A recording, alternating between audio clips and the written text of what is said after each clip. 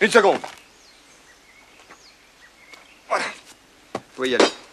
Ah, ça va maintenant, calmez-vous.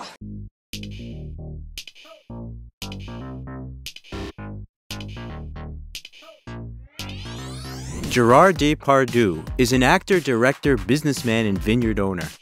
Despite characterizing himself as an uncouth peasant, Depardieu became one of the most successful and popular French actors in the world.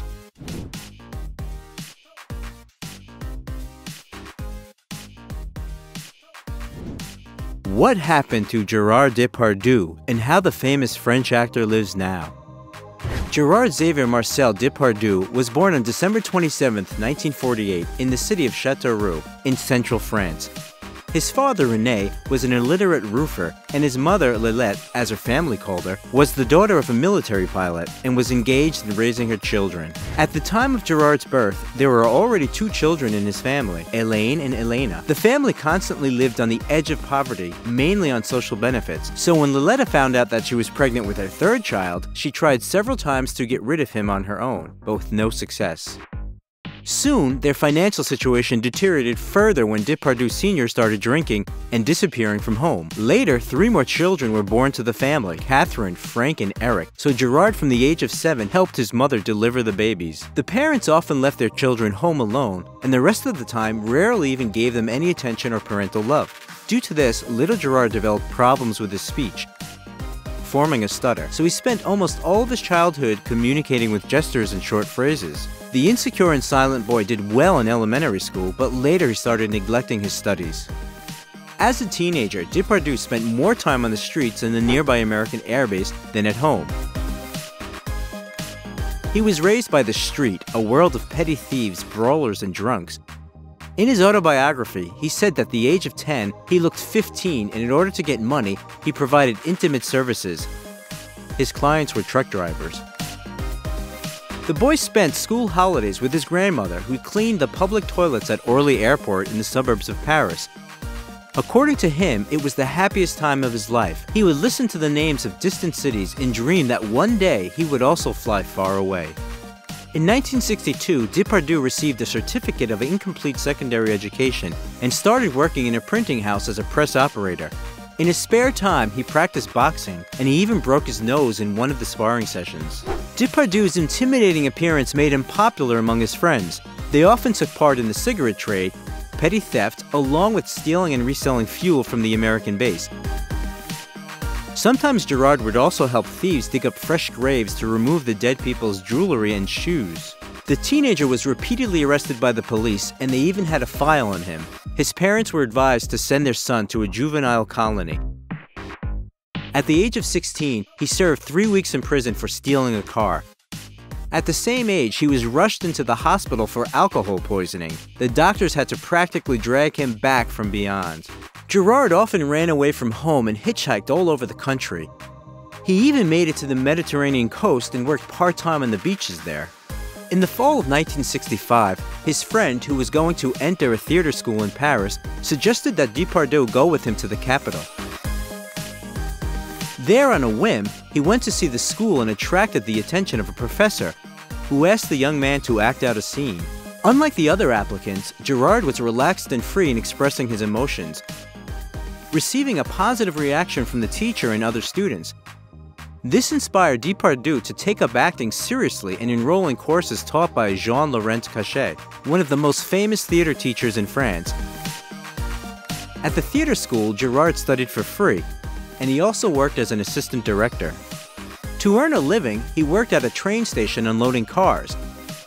At the same time, Depardieu started improving himself as an actor. He fixed his speech and enthusiastically read French classics, which he did not have the chance to as a child. In 1967, Gerard Depardieu first appeared in cinema, playing the main role of the beatnik in the short film The Beatnik and the Puss. In Paris, the young man continued to engage in illegal activities.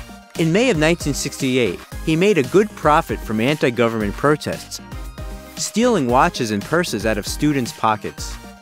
Around the fall of 1968, Gerard met a student at the Cochet School, Elizabeth Guignot.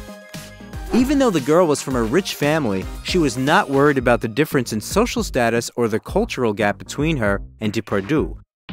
Yet, she was worried because she was six years older than him. On April 11, 1970, the young couple got married, and a year later, their first child, Guillaume, was born. And two years later, they had a daughter, Julie. This marriage was hardly ideal, due to him constantly having affairs. Relationships with his children were also strained. Gerard, like his own father, did not know how to show them love and care. Guillaume followed in his father's footsteps. He abused alcohol and drugs in his teens, engaged in theft, and was sentenced to prison terms several times. In 2008, the young man died of pneumonia. As for Julie, she also became an actress and considered her father an unreliable person, who she has no desire to be compared to.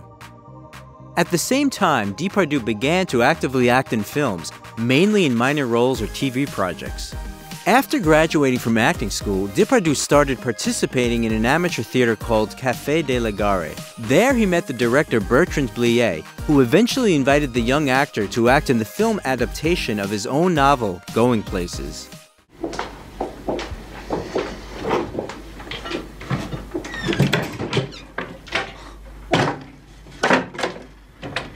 Ils ont même pas laissé un sucre, c'est radin. Non mais par contre, il y a tout un stock de papier cul. Du trèfle ouaté, ça t'intéresse The film was released in March 1974 and caused an unprecedented stir. It was called the most scandalous and at the same time the most amazing film, and Depardieu became both a popular actor and a national hero among the youth. In the film, Gerard essentially played himself. A guy who leads a carefree lifestyle and is engaged in robberies and car theft. In the next few years, Depardieu often appeared on the screen in such films as Vincent Francois Paul and others. The Last Woman, This Sweet Sickness, Get Out of Your Handkerchiefs, Bye Bye Monkey, The Dogs, Cold Cuts, Inspector Blunder, Lulu, My American Uncle, and others. In 1980, the drama The Last Metro premiered, in which Gerard took on the role of actor Bernard Granger. His on screen lover was played by Catherine Deneuve. For this role, Depardieu received his first cinematic award, Caesar. Many tabloids called out the actor's affair with Deneuve. In addition to The Last Metro, for the next two years, they starred together in the films I Love You All and Choice of Arms, but they themselves claimed to be just friends. Depardieu had a second wave of great success when he worked on the set with Pierre Richard. Their first joint project was the comedy Knock on Wood in 1981. And while Gerard wanted to get Richard's role, the director refused to give it to him, instead giving it to Richard. To get revenge, the actor made the filming process rather difficult. He would throw tantrums, go on a binge, and so forth. Working conditions were already difficult. The film was shot in Mexico outdoors in the heat of 122 degrees, and Depardieu was even bitten by a scorpion. In the same year, the actor starred in the drama Woman Next Door. A year later in the film The Big Brother, and in 1982, the historical dramas Dan and The Return of Martin Guerra were released. In 1983, Gerard Depardieu and Pierre Richard followed up their success in the film Comdads. In the same year, the film Moon in the Gutter was released, where Depardieu starred together with Nastassja Kinski. After that, the French press wrote that the actors had an affair, and they even spent the night in a hotel under false names. The following year, Depardieu played the main roles in the films Fort Saganne, Right Bank, Left Bank, and Tartuffe. In 1985, the actor won the Silver Prize at the Venice Film Festival for his role in the crime drama Police. It was followed by the dramatic comedy One Woman or Two. In the next year, the films Three Fugitives, Jean de Florette, and Ménage were released. In the next three years, Depardieu appeared in the films Under the Sun of Satan, A Strange Place to Meet, Camille Claudel, Two, and Too Beautiful for You. The next stage of his acting career was the film Cyrano de Bergerac, released in 1990. Un honneur chiffonné, des scrupules en deuil, mais je marche sans rien sur moi qui ne reluise, en panaché d'indépendance et de franchise. Il suffit The Frenchman played the main character and received 3 million French francs. Depardieu was nominated for an Oscar, won another Caesar Award, and the Cannes Film Festival Award for Best Actor. Gerard also delivered his thank you speech in Cyrano style, thanking everyone with whom he worked on this film. After Cyrano, Gerard was invited to play the main role in the Hollywood film Green Card.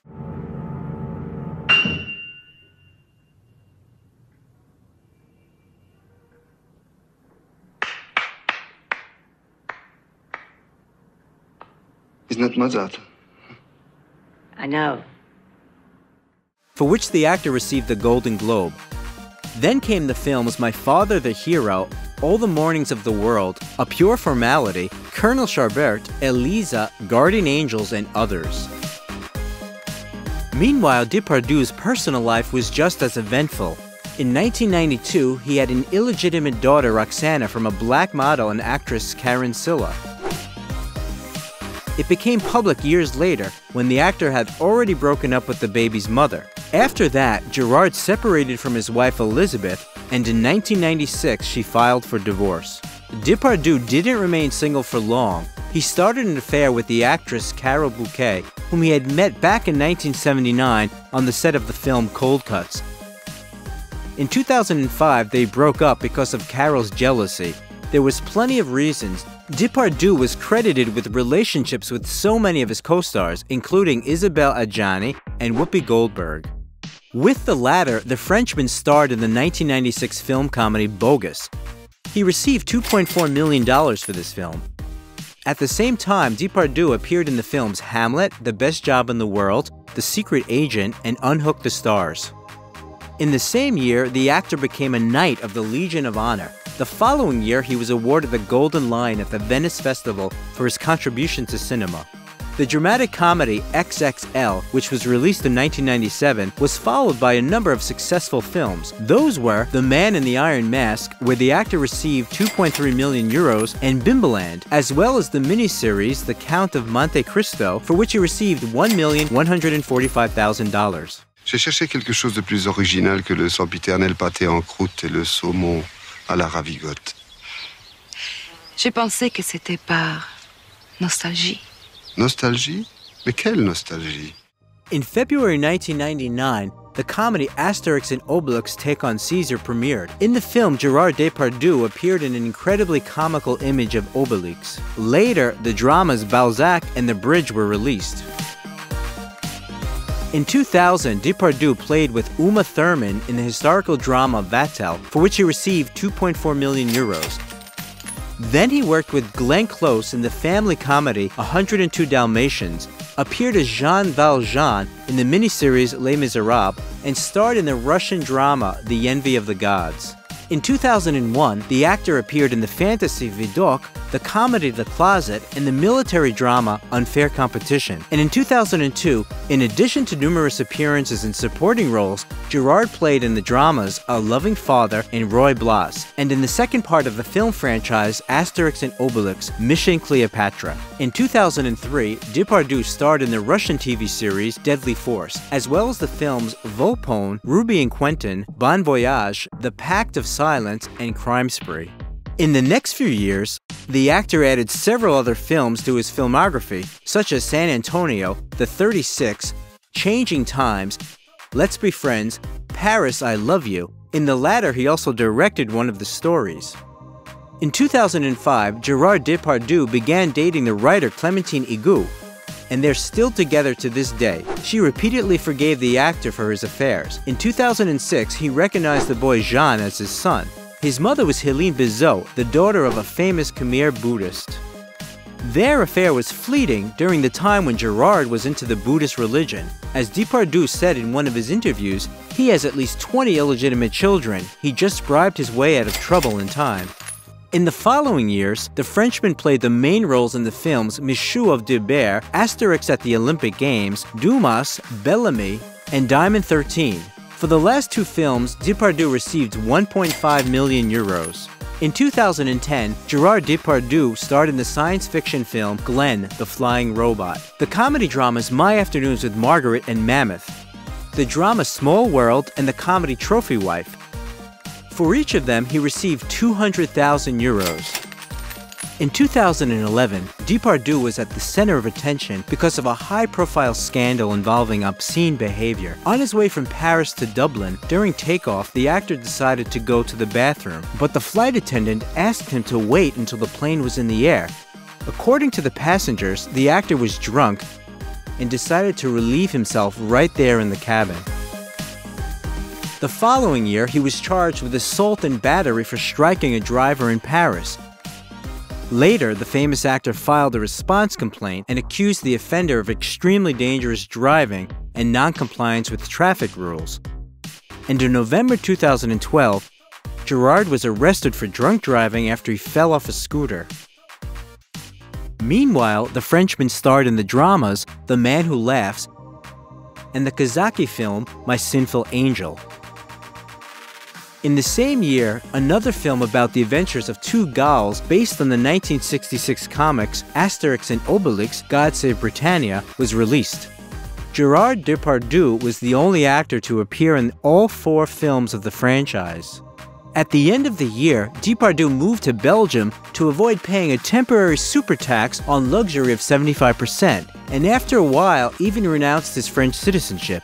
In a letter published by French newspapers, the actor claimed to have lost 85% of his income due to French taxes in the previous 12 months.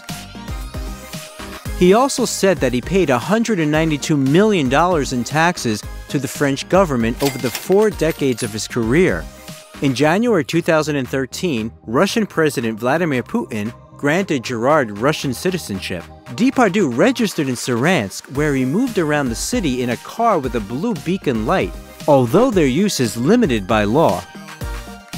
In 2013, the actor played the main roles in the films A Farewell to Fools, Les Invincibles, The Mark of the Angels, Misery, Depardieu also starred in the Russian film version of Rasputin. In the following years, the actor continued to actively act, more often in cameo or minor roles. He appeared in the main roles in the films Welcome to New York, Victor, The Valley of Love, Saint Amour, the TV series Marseille, and others.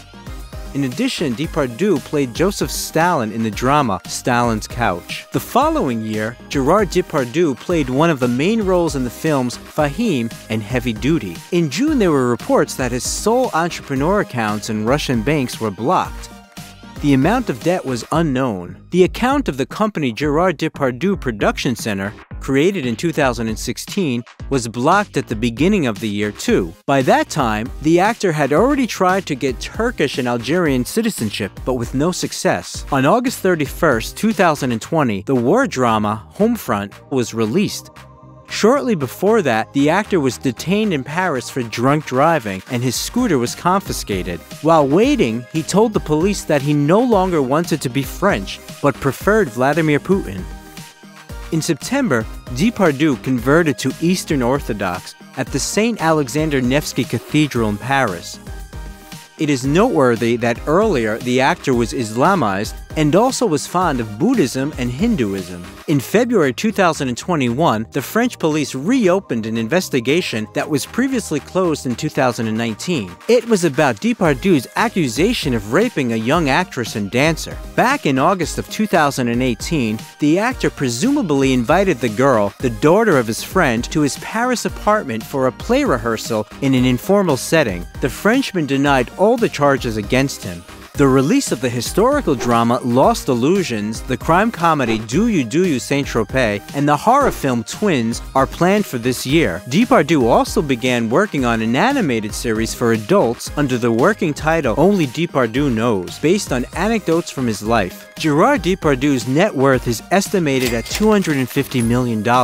In addition to cinema, Depardieu is professionally engaged in winemaking. He bought a 12th century castle in the Loire River Valley and 67 acres of vineyards that Clementine Igou now manages.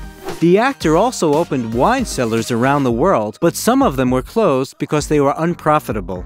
Previously, Depardieu was the owner of two restaurants in Paris, but in 2019, there were reports that he put up all the property for auction it included a wine cellar with vintage wines at a price of up to 6,000 euros per bottle. By the way, Depardieu is known for his love of cooking, and among the five books he has written, one of them is on the culinary arts. Depardieu often invests money in businesses, but not always successfully. In 2013, he put money into the investment company Holding 2712 in Belgium, but three years later it suffered a loss of 62,000 euros. His attempt to open a bar in Tournai, Belgium also failed. Gerard Depardieu is also a Belgian citizen and pays taxes there if he films in Europe. But no one knows exactly where the famous actor lives now. In 2012, the actor bought a villa called White Cloud in the southwest region of Belgium. The interior of the house was painted in a simple and clean white color that blends well with wooden furniture. Gerard Depardieu put the villa up for sale several times, pricing it at 800,000 euros, but experts estimated its worth at 1.2 million euros. Since the actor received Russian citizenship, he has become the owner of several real estate properties in Russia with a total value of about $320,000. To start, a five-room apartment in the capital of Chechnya with an area of 2,150 square feet cost about $200,000. The two-story apartment with ceilings that are 10 feet high is located on the 27th floor of the residential building Olymp in the Grozny City complex. The apartment building has a helipad, high-speed elevators, an autonomous power plant, underground parking, and 24-hour security. By the way, along with the apartment, Depardieu received the title of honorary citizen of the Chechen Republic. In the village of Belystolby near Moscow, the Frenchman purchased a half-acre plot where he built a Russian-style house. The average price of 1,000 feet in this area is $7,000. Also, Gerard Depardieu received a plot of 0.4 acres near Minsk, which is the capital of Belarus. Depardieu previously owned property in Paris. It was a 19th century mansion with an area of 18,000 square feet with 20 rooms, a kitchen, terrace, indoor pool, elevator, and small garden. The house was designed as an artist studio and is filled with various art objects and a staircase made of glass and metal. Gerard Depardieu has repeatedly become the face of various advertising campaigns. The Ukrainian operator Kyivstar, the Armenian airline Armavia, the bank Credit Agricole, the store Elisevsky in St. Petersburg, the furniture factory Maria, and the bank Soviet. At the request of the Ministry of Culture and Tourism of Azerbaijan, he also advertised Azerbaijani cuisine. In 2014, the actor collaborated with the watch brand Custos and released a limited series of watches called Proud to be Russian. And in January of this year, together with Volgorechens Fishery, he released a brand of black caviar called Selected Depardieu. Depardieu prefers motorcycles and scooters to cars. It is known that in 1998, the actor was in a motorcycle accident and was also repeatedly detained for drunk driving. In addition, the actor has his own private jet. Gerard Depardieu's filmography includes more than 250 works, and which of those roles is your favorite? If you like the video, please like it and subscribe to the channel so you don't miss anything interesting.